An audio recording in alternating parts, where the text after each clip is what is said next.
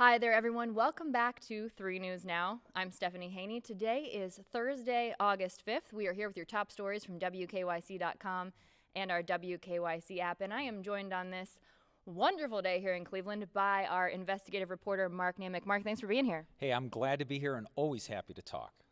And you are on the top story today. Everyone's talking about it. What's going on in Progressive Field? Big announcement today. It looks like the tribe's going to be sticking around for a while. They are. And look, the Indians keep making f- news off the field, recently announcing they're going to change their name to the Guardians. And you saw I hesitated there. I'm not quite sure to make that transition yet, but it will go Indians slash Guardians.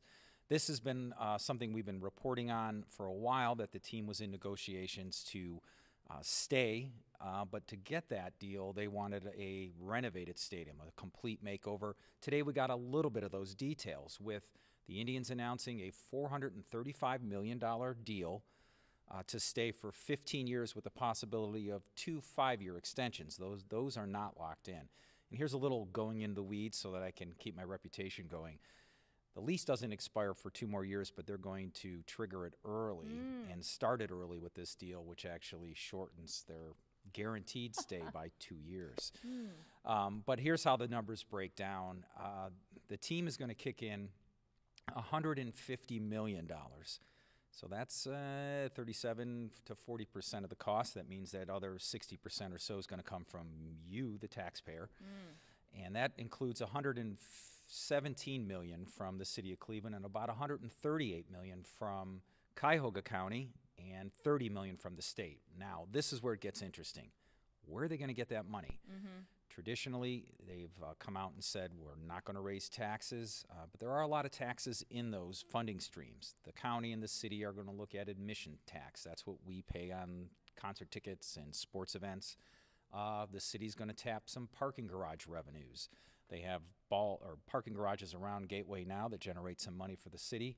Uh, they'll also look at the tax on bed stays or bed taxes, hotel taxes um, and other some general revenue sources. But here's the problem: they've been using those same sources for other things. They said there's still plenty of money to go around, but they acknowledge that if projected revenues at a parking garage or as we saw during the pandemic, we weren't making a lot on admission tax. Right. When that number drops down, the city and the county have to dip deeper into their pockets and cover that cost that they had hoped to get from, you know, new taxes uh, or taxes in place, but, but new generated taxes. So that's where we stand now. Remember, this has to go to both councils, the city and county council. They hold hearings, they have to vote because we own it. It's a publicly owned stadium.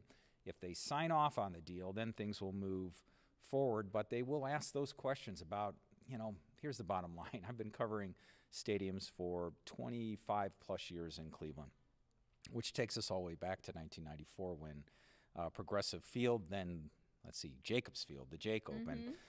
And they always cost more than they initially say they will because things cost more than they think, um, plus revenue sources dry up. One of the biggest sources of revenue that built the stadiums, of course, was the sin tax, the tax on alcohol and cigarettes in Cuyahoga County. Right now, that only generates uh, eight to nine million a year, with a portion of that already going to this uh, to the ballpark, because some of it goes to the uh, the Q, which is now Rocket Mortgage, and the Brown Stadium. You know, and there has been concern that that number is shrinking anyway. I don't know if we're drinking less. I mean, or I, I know people are smoking less, maybe.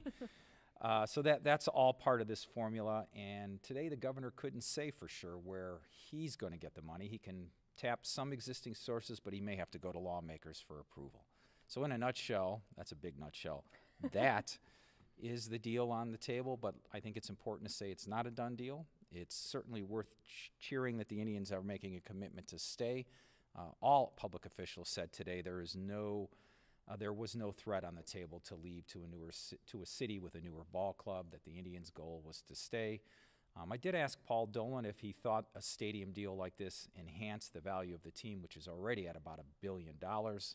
Uh, and he said, yeah, most likely it would. Uh, he's not talking about whether they have plans to sell. If they do have a lease deal, that would keep the new owners here at least for the next 13 to 15 years. Okay, so whoever that is, even if that did happen to not be the Dolans for some reason, of course, as you said, if this becomes a done deal, A lot going on there, but one thing I do want to point out, very thankful that we have Mark, we have Mark here to break down the cost and where this money will come from because Cuyahoga County Executive Armond Budish today said no additional taxes for Cuyahoga County taxpayers. And that's a very tricky way of getting around the fact that yes, everyone is going to be paying for it in here Well, in no Ohio. New taxes, but what, what's not said is will we spend more of our existing taxes on the stadium than on other uh, issues and needs out there? Frank Jackson, the mayor of Cleveland, was asked that question, and he said it's always a choice. He believes this one is worth spending that those tax dollars.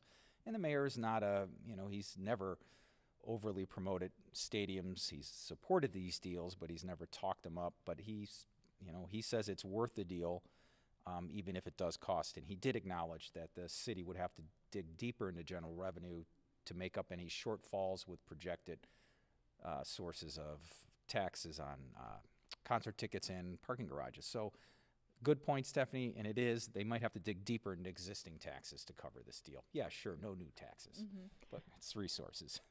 And what a move for Mayor Frank Jackson to go out on, by the way, which is something that Mark and I will be talking about the upcoming mayoral primary. That's coming up on the Three Things to Know podcast. That's dropping next week. Mark, thanks for being here to break down for us. for having me and uh, listen listening to me go into the weeds as usual. Thank you. That's what we bring you in for. We want to get down in the details with Mark Naymik. All right, let's get back to the rest of the top stories from WKYC.com today. A lot going on. And if you would like to watch that press conference for yourself, we have it on WKYC.com and in our WKYC app. Now, let's backtrack to yesterday. The CDC made an important move yesterday for people who might worry about getting kicked out of their rental homes, and that's because that federal nationwide moratorium on evictions came to an end on Saturday, July 31st. Well, the Supreme Court previously made it very clear that they would not support another full extension by the CDC, that Congress would have to act in order to fully extend that moratorium across the U.S. again. But what the CDC did instead was they created a new eviction moratorium that covers a lot of the United States, but not all of it. And this would stop evictions through October 3rd on a majority of the U.S. These are all counties where there are substantial and high levels of COVID 19 transmission. Again, what we're hearing from experts and professionals is that's primarily due to the Delta variant. So that covers about 90% of the U.S. population.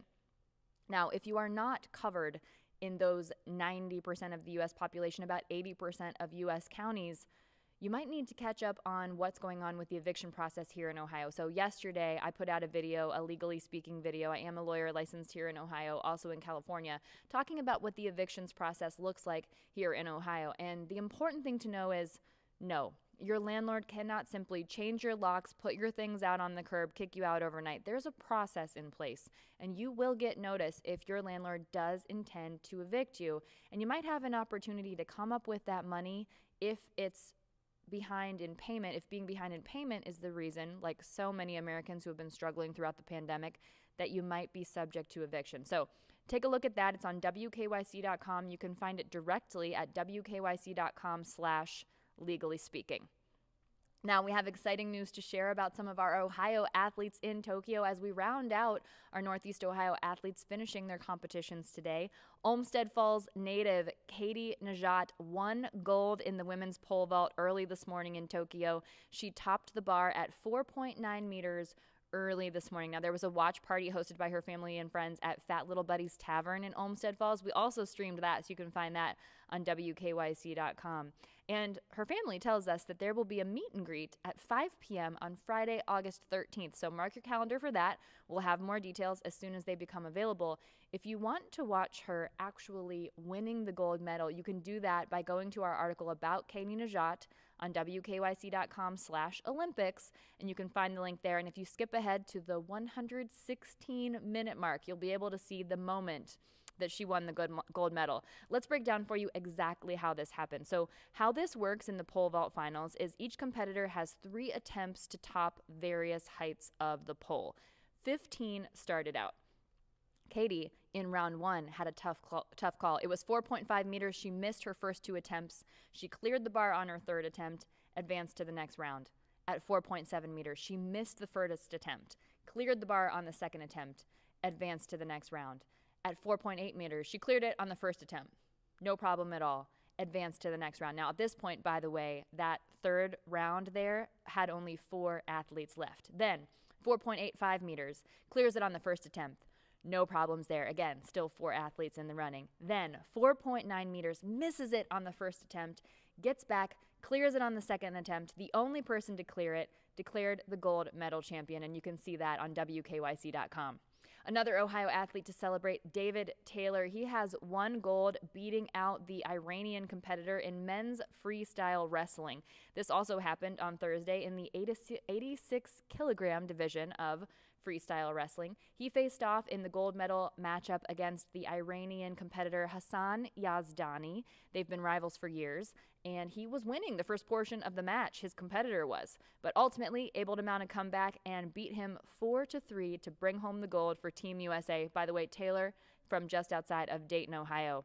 And also celebrating Ohio boxer Duke Ragan. He's from Cincinnati. He is bringing home the silver medal in men's featherweight at the Tokyo Olympics. His final matchup was early this morning. He beat out the competitor from Russia by a decision. Excuse me, the competitor from Russia beat him for the gold medal. Ragan uh, then bringing home the silver medal by a decision of three to two. And now Speaking of sports, what's happening here in Northeast Ohio? Down in Canton, it's the Professional Football Hall of Fame and the festival and all of the things that go along with that. I absolutely love this time of the year. One of my favorite things is one of the opening events, the Balloon Classic. Got a chance to check that out last weekend. If you're ever in town for it, I recommend you put that on your calendar. It's incredible. And so this week, it will now be the rest of the festivities. We've got the entire schedule on WKYC.com as the Pro Football Hall of Fame inducts its 2021 and 2020 class inductees, saying it's twice as fun in 21 because, of course, everything was put on hold last year because of the COVID 19 pandemic. And the special centennial class as well, which includes Mac Speedie from the Cleveland Browns. And tonight, the Pittsburgh Steelers will take on the Dallas Cowboys in the Pro Football Hall of Fame enshrinement game at Tom Benson Hall of Fame Stadium or Fawcett Stadium if you're from the area and you remember it was long called that. Check out WKYC.com for a list of all of the inductees and the schedule for the events moving forward throughout the weekend and through the enshrinement. Speaking of the Browns and football, you might be wondering as we approach the preseason and the regular season how the Browns stack up in the AFC North. Well, let's just take a look back at last year. In 2020, the Browns finished in the AFC North with a record of 4 and 3, including an emotional wild card playoff win against the Pittsburgh Steelers. That was so incredible. But there were some cup calls and a couple of blowouts as well, and they ended up finishing third in the standings in the AFC North. But Let's remember, you don't necessarily have to win your division in order to win a Super Bowl. Just ask the Tampa Bay Buccaneers. But can't hurt though, right? Well, our 3 News sports analyst Ben Axelrod does a full breakdown of how things are looking here in the AFC North, comparing the Browns to the Baltimore Ravens, the Cincinnati Bengals, and the Pittsburgh Steelers. So you're going to want to catch that on WKYC.com. And before we let you go here, we have important and sad news to share. Former 3 News anchor Robin Swoboda has announced that she has cancer, and we are sharing this story with her permission. It's breast cancer, and it was a few days ago that she let followers know that she had a biopsy, and then she found out that it is, in fact, cancerous. In her post, Robin Swoboda said, I imagine I'll hear from my doctor soon as to how to proceed from here. In the meantime, I know my God is faithful, come what may, and He will see me through this along with friends like you. Now, this is the second time that Robin has had breast cancer. Her first instance with it was back in 2017. She came into 3 News and she talked with our Jim Donovan about her diagnosis. Back then, she did not have to go chemotherapy, undergo chemotherapy treatment for that breast cancer. We don't know what her treatment entails now, but as she shares and as she permits us to share with you, we will certainly keep you updated. And we are sending Robin the very best from her family here at 3 News. That's it for your 3 News Now update today for Thursday, August 5th. I will see you back here tomorrow with more 3 News Now.